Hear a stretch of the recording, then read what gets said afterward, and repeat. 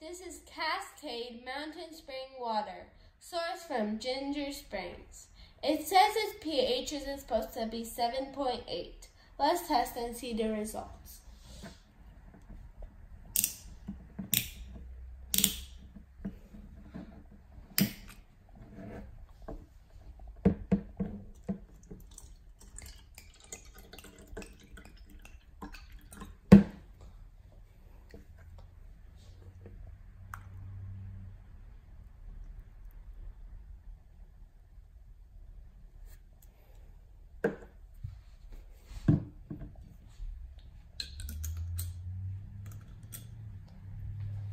Let's test the TDS level first.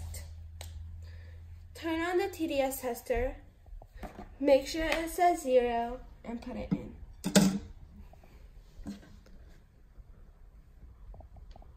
One hundred and eight. That is carbon filtered water.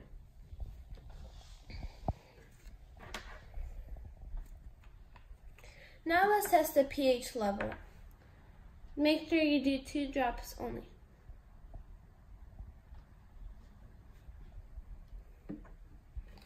Let's stir to see the result.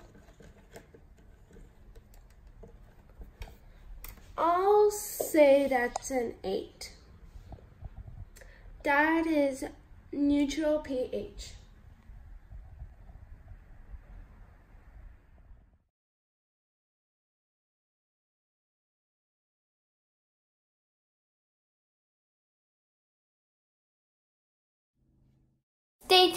Like and subscribe.